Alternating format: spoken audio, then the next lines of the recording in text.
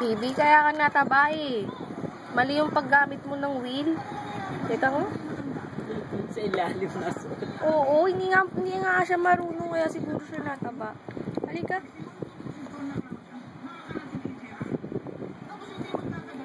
Hmm, pasok. Pasok. Hindi yan obstacle course. Kailangan lalakad ka dun sa loob. Pasok.